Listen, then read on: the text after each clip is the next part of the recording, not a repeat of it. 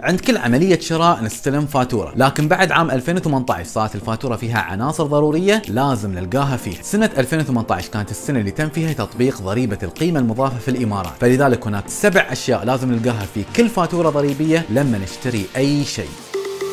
واحد لازم تلقى كلمة فاتورة ضريبية. لازم تكون مكتوبة بشكل واضح وصريح على الفاتورة. اثنين يكون فيها الاسم والعنوان الخاص بالمشروع التجاري اللي مسجل في النظام الضريبي. ثلاثة يكون فيها رقم التسجيل الضريبي. أربعة لازم يكون فيها تاريخ اللي هو تاريخ إصدار الفاتورة. خمسة لازم تضم مواصفات السلعة أو الخدمة وإجمالي السعر والمبلغ المخصص للضريبة. ستة لازم يكون فيها رقم تسلسلي للفاتورة الضريبية. سبعة القيمة لازم تكون بالدرهم. ولو كانت محولة من عملة ثانية لازم ينكتب سعر الصرف اللي تم استخدامه. هاي أشياء بتلقونها في أي فاتورة ضريبية وهالأشياء تزيد من نسبة امتثال المشاريع التجارية للضريبة وتخلي عملية التهرب من النظام الضريبي صعبة وتقلل من التلاعب واستغلال تطبيق الضريبة. الحين يا دوركم أنكم تطالعون الفاتورة الضريبية اللي تستلمونها وتخبرونا واحدة من هذه العناصر اللي شفتوها فيها.